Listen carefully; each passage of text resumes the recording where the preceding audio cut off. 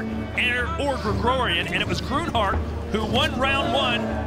Kijk, het is zo, het heeft mij een knie gegeven. Ik was niet aangslagen of niks. Uh, gewoon, ik had een cap en ik had zo'n gevoel van fuck this. En ik wil eigenlijk uh, naar de dokter lopen en, uh, voor vaseline of zo. He felt a cut and his first reaction was, hey, shit, I need to go to the doctor and then I can continue fighting. According to all five judges. But one of the first rules in contact sport is don't turn around. Always keep your hands up and uh, always watch your opponent. Five judges. Oh my! Defend yourself at all times! Three things went wrong. Harut turned around, he shouldn't do that. Murthel gave a cheap shot and the ref was not in time. So with three things that normally one of the three things goes wrong in one fight, then it's a small thing. But if all three things go wrong at the same moment, this is the result. Kijk, het is in Glory uh, het, het moogst uh, Eh, maar in menselijkheid, als je bekijkt, is dat wel een laffe stoot. Maar ja, ik, ik, voor mij maakt dat niet uit. Ik, dat doet mij niks. Groenhart with a big right hand KO! You have hitting somebody with a technique and immediately punching him after that, or you have hitting somebody and he walks away and you have a moment to think and you hit him from behind. I don't know.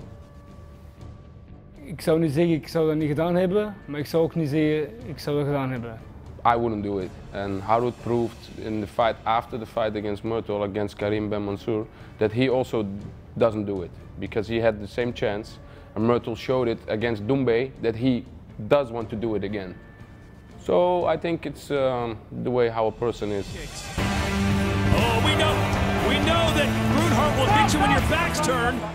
And then uh, as a final uh, bang, two guys came running in the ring. We've got to play the ring. People are attacking Murthel Groenhart.